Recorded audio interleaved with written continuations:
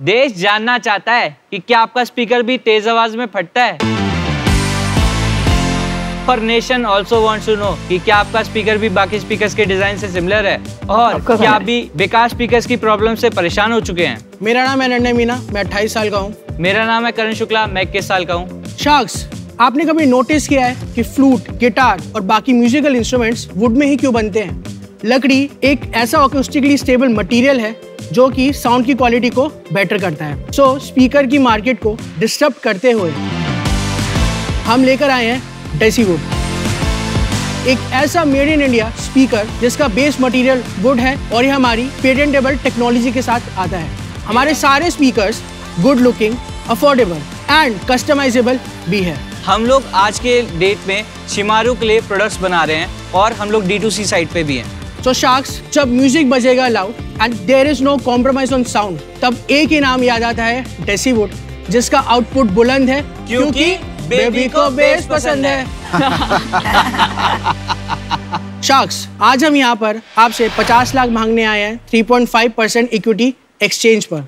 Shark tank में आपका स्वागत है। Thank you sir thank you आप थोड़ा बताएँगे आप दोनों एक दूसरे से कैसे मिले और ये बिज़नेस कैसे शुरू हुआ? After dropping out from I मैंने इस पर काम करना शुरू किया। इनिशियली जब काम शुरू किया था तो प्रोडक्ट्स की आइट्रेशंस काफ़ी बनाई थी। उसके बाद हमें पहला ऑर्डर अमेजोन पे मैंने लिस्ट किया था within a week R P G enterprises से I got first order the going group गोइंगा group उसके बाद एक और ऑर्डर मिला music that is in store radio वो भी मुंबई बेस्ड ही है। उन्होंने सेकेंड ऑर्डर दिया तो उससे एक वैलिडेशन मिला कि हम प्रोडक्ट को बेच सकते हैं। In March 2019 I incorporate the company and then I met Karan uh, in a seminar. And I told him कि why don't you come as a co-founder in the company? Then after that we started the journey. और आपने भी college छोड़ दी? या BTech चलो दोनों drop out हो बहुत अच्छे बड़े बड़े खिलाड़ी ड्रॉप आउट पहले हुए हैं फिर काम बड़ा किया है। Yeah. तो आपका एक प्रोडक्ट रेंज के बारे में बताइए और किस मार्केट के लिए बनाते हैं? श्योर सो बेसिकली हम लोग जो स्पीकर्स बनाते हैं ये प्रॉपरली वुडन स्पीकर्स हैं। सो वुडन स्पीकर्स बहुत कॉस्टली होते हैं। बट ये MDF है इंजीनियर वुड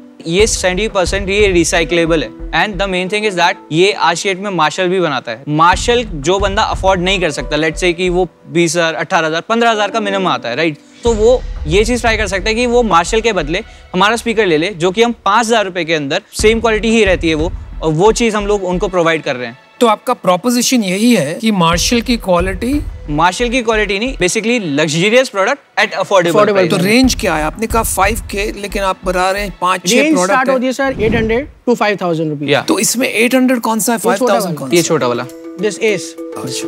एक चीज़ मुझे बहुत पसंद आई कि आपके हर एक स्पीकर पे हमारे नाम लिखे हुए हैं। हम कस्टमाइजेशन का भी ऑप्शन देते हैं। मतलब ये मिलने वाला है मैं बिल्कुल आपके लिए छोड़ के जाएँगे आपके लिए छोड़ के जाएँगे आप दिखाएँगे हमें? अरे वाह। ये देखो तुम्हारा नाम। ब्यूटीफुल अरे वाह वाह वाह क्या बात और है कितने अच्छे फॉन्ट में लिखा है देखो। ये अच्छी चीज़ है यार। इट्स लुकिंग तो, वेरी तो आप इन्हीं का स्पीकर अमन भाई का स्पीकर लेके ये कस्टमाइजेशन करो उनके लिए। सारे आपके सारे स्पीकर पे मेरा नाम लिख दो फिर देखो कैसे बिकता है। नहीं नहीं अच्छा है डिफरेंट थैंक यू स्पीकर में पता है प्रॉब्लम क्या आ रही है सबसे ज़्यादा आजकल? बहुत सारे यू नो स्मार्ट स्पीकर बन रहे हैं। ये वाली स्पीकर की मार्केट आपको नहीं लगता थोड़ी डिक्लाइन उसके लिए भी वी आर वर्किंग हमने एक पायलट भी किया था रास्पबेरी पाई मतलब प्रॉपरली इट्स अ सीपीयू जो हम रे यूज़ कर रहे हैं। तो वी ट्राइड दैट बट वो कॉस्टली काफ़ी पड़ रहा था। बट हमारे पास अभी काफ़ी लोग हैं जो इंडिया के अंदर प्रोडक्ट बना रहे हैं जो Alexa and plus Google home पे काम कर रहे हैं। तो हम ऑलरेडी उनसे बात कर कि we want to create a speaker जो कि आईओटी बेस्ड हो इजीली हो सके क्योंकि मार्केट इतनी बड़ी हो गई है एलेक्सा और गूगल होम की कि हम उसमें उस मार्केट को में भी घुसना चाहते हैं। आपने कहा कि आप इसको भारत में मैन्युफैक्चर करना चाहते हैं और कर रहे हैं। बिल्कुल। ये कोई लगाव है आपको भारत से मैन्युफैक्चर करने में? क्या लगाव है भाई? जरा बताएँगे। टू बी ऑनेस्ट जो भारत के अंदर मैन्युफैक्चरिंग की पावर है ना वो आज तक कभी किसी ने ये चीज़ एनालाइज ही नहीं करी कि वो बहुत बड़ी मैन्युफैक्चरिंग पावर हो सकती है। 1960 से पहले चाइना इतनी बड़ी मैन्युफैक्चरिंग पावर नहीं थी राइट बट उस टाइम पे भी उन लोगों ने रियलाइज़ करा कि यार क्या कर सकते हैं हम लोग? मैन्युफैक्चरिंग कर सकते हैं या क्या कर सकते हैं? आज के डेट में चाइना ने मैन्युफैक्चरिंग करना स्टार्ट करा। आज के डेट में वो स्पीकर्स बना रहा है आईफोन बना रहा है मार्शल के तो बना आप रहे हैं। ये बदलाव लाना चाहते हो डेसीवुड से? या। आप नेता हो कि एंटरप्रेन्योर हो भाई? नहीं नहीं टू बी ऑनेस्ट हम लोग नेता नहीं है बट हमारा जो विजन है वो ये है कि इंडिया के अंदर स्पीकर्स बने ताकि हम उसको एक्सपोर्ट कर पाए। अमेरिका में भी वो बिके यूएसए में भी वो बिके यूएई में भी वो बिके। नहीं ये दृष्टि आपकी अच्छी है मैं नहीं समझता हूँ इसमें कोई बिज़नेस सेंस है आज की तारीख में। हाँ। आप में क्या क्षमता है कि हम वही स्मार्ट स्पीकर के मार्केट में भी घुसने वाले हैं जहाँ ग्लोबल जायंट्स एप्पल है गूगल है अमेजोन सबसे बड़ा है वो एरिया में आप उनके साथ कम्पीट सक्सेसफुली कर पाएँगे? जितने भी स्मार्ट स्पीकर्स हैं अगर हम एलेक्सा की बात करें हम गूगल होम की बात करें वो सारे वायर्ड है। सो वी आर ट्राइंग कि हम एक ऐसा स्पीकर बना पाए जो कि बैटरी ऑपरेटेड हो with Alexa we are trying level किसी ने नहीं बनाया आज तक। झूठ मत बोलियो देख। नहीं मेरे को नहीं नहीं, पता। नहीं, नहीं television टू बी ऑनेस्ट मेरे को नहीं पता चीज़ ऑडियो ऑडियो गॉड सब सुन रहा है।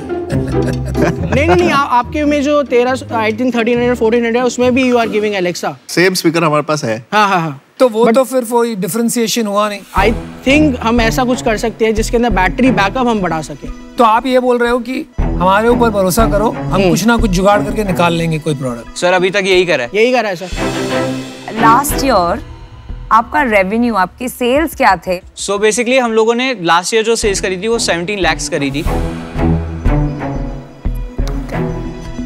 मैं थोड़ा इसको कंक्लूजन की टुवर्ड्स लेके जाता हूँ। आपका समझना चाहता हूँ मैं थोड़ा डीपर इसको।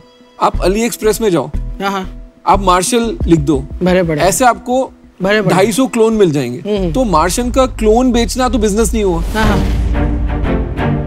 ऐसा क्या यूनिक बना रहे हैं आप? सर जब आरपीजी का ऑर्डर आया था वो कुछ प्रोडक्ट यूनिक ढूंढ रहे थे जो कि अपने कुछ अलग सेगमेंट में जा सके। तो उसके अंदर उन्होंने प्रोडक्ट में दिखा कस्टमाइजेशन तो आपके स्पीकर में अगर मैं बोलूँ कि अलग चीज़ क्या है? हाँ। तो आप ये बोलेंगे कस्टमाइजेशन करके देते हैं ये अलग है बस? नहीं।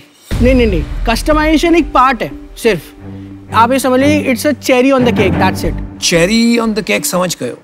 केक समझाइए केक क्या है? केक है हमारी ऑडियो क्वालिटी तो आप ये कह रहे हैं कि बाकी सब स्पीकरों से आपकी ऑडियो क्वालिटी बेहतर है। हाँ। बोट से बेटर है पाँच हज़ार का बोट से। I am not saying that comparatively same हमें तो बेंचमार्क चाहिए।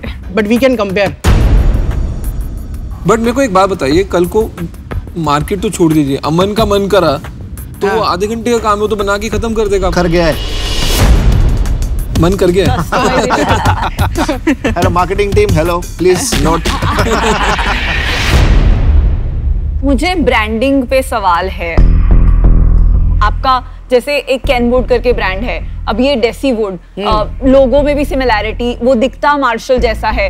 ब्रांड की identity you know what it stands for बहुत इंपॉर्टेंट होता है। तो अभी किसी को देख के ऐसे लगेगा कि ये कॉलेज प्रोजेक्ट टाइप्स एक का लोगो एक का नेम एक का लुक कंबाइन करके अ, सस्ते प्राइस में बना दिया है।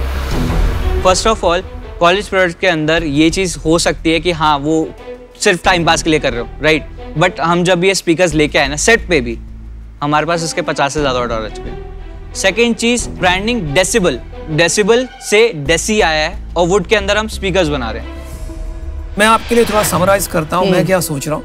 मेरा एक मॉडल है फोर टी मॉडल तो पहले तो टीम है। तो आपने मुझे नहीं लगता इसके बारे में गहराई से सोचा।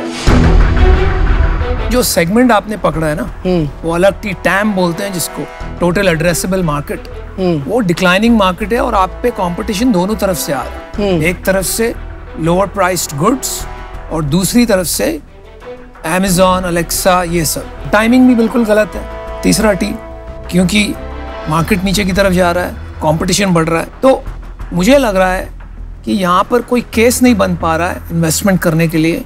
तो आई एम सॉरी लेकिन मुझे आउट होना पड़ेगा। But I wish you all the best thank you thank you so much 17 lakh sales per year एक विजन नहीं आ रहा है कि आप ये स्केल कर पाएँगे और यू नो एक मास मार्केट बना पाएँगे। तो उसके वजह से I am out thank you thank you Karan and Ananya मुझे नहीं समझ रहा है कि यहाँ पे प्रोडक्ट मार्केट फिट है कि नहीं।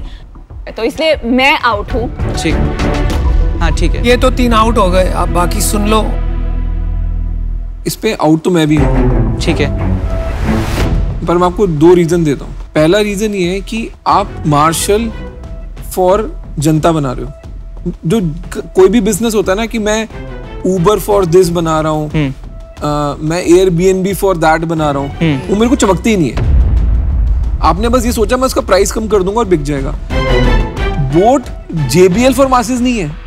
बोट बोट है इसलिए बिकता है। दूसरी चीज़ अगर आपको ये लगता है कि मार्केटिंग करने पे अमेजोन पे पैसे ही लगते हैं और रिटर्न नहीं आता आपके लॉजिक से तो फिर पैसा सिर्फ़ अमेजोन कमा रहा है और तो कोई सेलर पैसा कमा ही नहीं रहा अमेजोन पे। मैंने ये चीज़ नहीं बोली सर मैं आपको एक बात बताया था आपको सौ करोड़ रुपए दे दिए जाए ना आपको ये समझ नहीं आएगा मैं मार्केटिंग किस चीज़ पे करूँ क्योंकि प्रोडक्ट में दम नहीं है। तो इस कारण से मैं आउट हूँ। हम चार आउट हैं। सिर्फ़ अभी एक शार्क बचा है जो आपके लिए तो सबसे बड़ा शार्क है क्योंकि वो है अमन। हाँ। तो उसके भी विचार सुन लेते हैं। तो मेरे ना यहाँ तीन रोल है। एक मैं बनता हूँ शार्क ठीक है? अगर मैं शार्क बन के बोलूँगा ना ये तेरा इन्वेस्टेबल बिज़नेस नहीं है। अब मैं एक इंसान की तरह बोलता हूँ जो मेरे अंदर एक इंसान भी बैठा है। तुम लोगों ने ना यार आईआईटी छोड़ा है। ठीक है? आईआईटी से ना सॉलिड दिमाग निकलता है। बहुत सारे प्रोडक्ट्स बना सकते हो। तूने कुछ ऐसा फोड़ा होता ना कि बॉस इस स्पीकर में देखो आवाज़ तो यार बेस तो बेबी को बेस पसंद है मैं बचपन से बोल रहा हूँ। जब तू अपने आप को स्ट्रांग बनाएगा ना तो इन्वेस्टर तेरे पीछे भागे मेरे पीछे भागते हैं। तो अभी आउट हैं आप? तो यार मेरे को तो कंपनी खरीदनी पड़ेगी इन्होंने के लिए वो मैं अभी खरीद नहीं सकता but so all the best guys thank you so much thank you so much good luck all the best thank you so much